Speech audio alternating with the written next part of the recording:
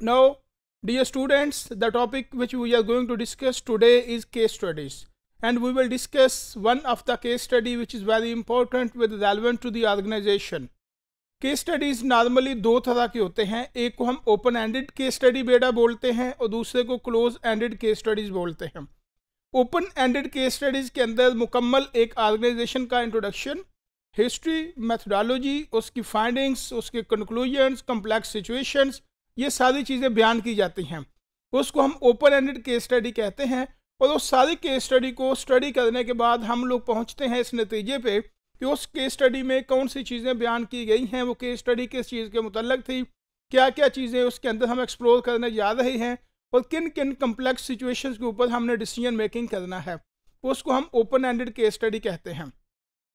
और एक DA students case study है close ended case study close ended case study के अंदर एक मुकम्मल केस स्टडी दी जाती है बच्चों को, ऑर्गेनाइजेशंस में, लोगों को, मैनेजर्स को, और उस केस स्टडी के नीचे कुछ चार पाँच क्वेश्चंस गिवन होते हैं।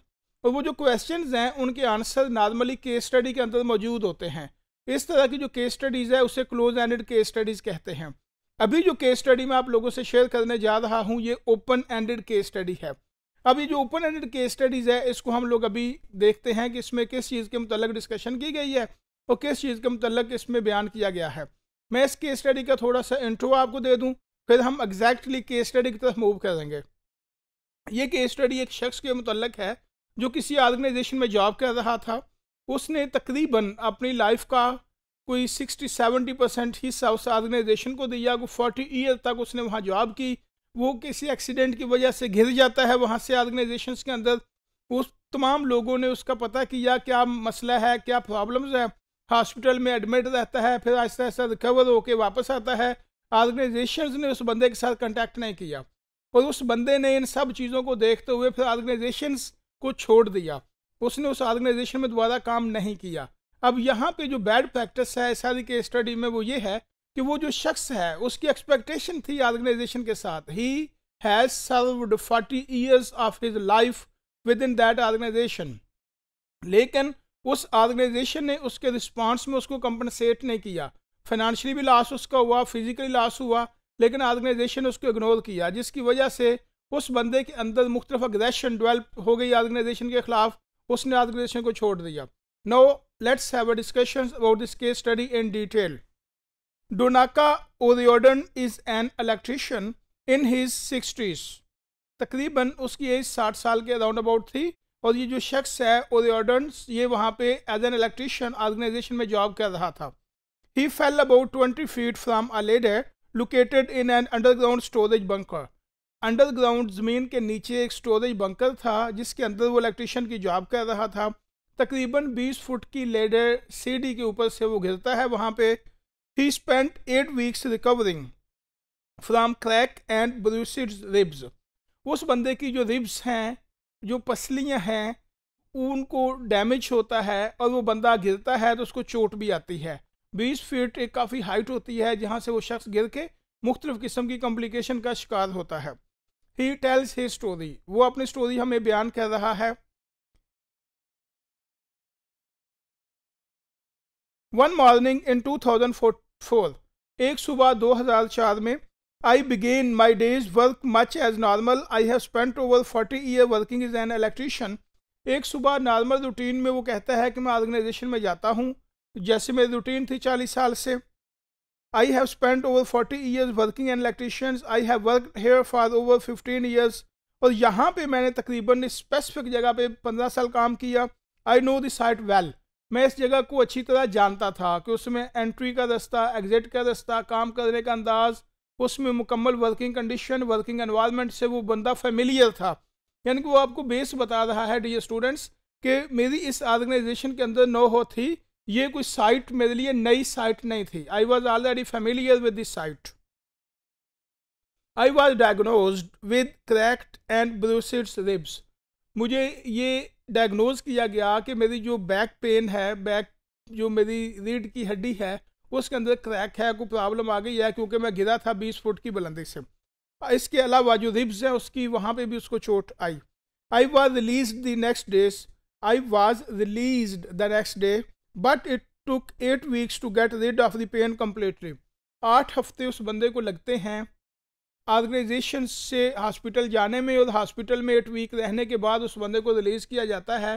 हॉस्पिटल से डिस्चार्ज किया जाता है कि अब तुम अपने घर जा सकते हो। I was laid up in bed for about four days before I started to walk इससे पहले कि मैं वॉक बाकायदा स्टार्ट करता उससे पहले भी चार दिन तक मुझे बेड रेस्ट करना पड़ा। Then I began to walk a small amount each day until I felt better हल्की सी वॉक थोड़े से कोई हंड्रेड गाज टू हंड्रेड गाज या three hundred metre Aahista Aahista gradually उस बंदे ने वॉक करना शुरू कर दी ताकि वो दोबारा अपनी रूटीन में आ सके। All the while my breathing was difficult and incredibly painful शुरू में वो कहता है कि मेरी जो सांस थी, इसमें बहुत ज़्यादा प्रॉब्लम थी और ये चीज़ मेरे लिए बहुत ज़्यादा प्रॉब्लम का बायस बन रही थी। My wife had to take a day leave but apart from that I was able to fend for myself मेरी मिसिज ने वो बंदा बता रहा है कि एक दिन छुट्टी भी ली ऑफ़िस से मेरी केयर की, लेकिन फिर मैंने अपनी चीज़ों को खुद मैनेज करना ग्रेजुअली शुरू कर दिया। I lost weight of my home I lost weight at home घर में मेरा वज़न भी कम हो चुका था but I have put that back on no लेकिन अब चीज़ें पहले से कंपेरेटिवली बेटर हो चुकी हैं, वो चीज़ें अब आहिस्ता आहिस्ता अपने ट्रैक पे आ रही हैं। Whilst I was at home some हमें work friend thanks to see how I was जब मैं घर पे मौजूद था तो मेरे कुछ दोस्तों ने मुझे कॉल की, और वो जो कॉल कर रहे थे, वो मेरी खैर खैर वफ़ीत दरियाफ्त कर रहे थे। However my employer never rang me and that really annoyed me मेरे मालिक ने मुझे एक भी कॉल नहीं की।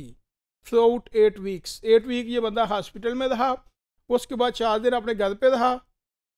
तकरीबन नाइन वीक नाइन वीक में इसके एम्प्लॉयर ने इसे कंटेक्ट नहीं किया। I know that other employees still work on there own down there but I wouldn't any more मुझे मालूम है कि उस ऑर्गेनाइजेशन में बहुत से वर्कर काम कर रहे हैं, लेकिन मैंने अब उस ऑर्गेनाइजेशन में काम नहीं करना। ये शख्स की स्टोरी है।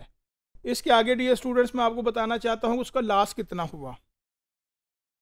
Total employee cost eighteen hundred pound seventeen hundred twenty last over time payment eighty pound G B G B general practitioner visits जो उसने वहाँ पे डॉक्टर को विज़िट किया और पे किया। Total employer cost thirty one thousand three hundred sixty three nine thousand eight hundred sixty three salary cost of injured employee twenty one thousand five hundred improvements to access and ventilation in the bunker ये cost associated है इस incident के साथ लेकिन जो question है वो ये है कि वो जो एम्प्लॉय है why he is not working more with that organisation due to one thing He felt bad. He has served that organization about 40 years, but that employer didn't pay back. That employer has no interactions with the employee during his hard time. इसकी ये duty थी employer की कि वो जो hard time है उसका, जिसमें वो इंजर्ड हो रहा है, उस वक्त उसको तसली की ज़रूरत थी। उस वक्त उसको वहाँ पे लोगों की ज़रूरत थी जिनके साथ उसने काम किया था। ख़ास तौर पे वो ऑर्गेनाइजेशन उसको बैक करती, ताकि वहाँ पे किसी किस्म की प्रॉब्लम दोबारा पैदा ना होती। अब इस सारे केस स्टडी को डी स्टूडेंट स्टडी करने के बाद मैं आपसे बताना चाहता हूँ कि अगर ऑर्गेनाइजेशन में हेल्दी वर्किंग एनवायरनमेंट होता तो ये इंसिडेंट पैदा ना होता। पहले ये reason number two human resource management को मैनेज किए बगैर ऑर्गेनाइजेशन के ऑब्जेक्टिव अचीव नहीं हो सकते। नंबर थ्री कोई एक प्रोडक्टिव एम्प्लॉय था, उसको साथ बंदे ने एम्प्लॉयर ने लॉस कर लिया, इसका लूज़ कर लिया। जब एम्प्लॉयर इसको लूज़ कर लेगा तो डेफिनेटली वट विल हैपन इस बंदे ने फोर्टी ईयर ऑर्गेनाइजेशन को दिए, वो ट्रेंड था एक्सपीरियंस था विजन वाला था एक्सपोजर वाला था। इसकी जगह पे अनट्रेंड रखेगा तो वो ऑर्गेनाइजेशन का लॉस है। वो एम्प्लॉयर ने सिर्फ़ एक एम्प्लॉय का लॉस नहीं किया, बल्कि उसने एक ह्यूमन एसेट का लॉस किया है। और ये वो ह्यूमन एसेट था जिसके पास नॉलेज स्किल और एबिलिटीज़ मौजूद थी। ये उस ऑर्गेनाइजेशन के लिए बहुत वैल्यूएबल एम्प्लॉय था। तो ऑर्गेनाइजेशन के अंदर ह्यूमन रिसोर्स को क्विट कराने की बजाय इंटेंशन टू स्टे करवाना चाहिए, ताकि वो ऑर्गेनाइजेशंस के लिए बेनिफिटेड हों और लंबे अरसे तक काम कर सकें।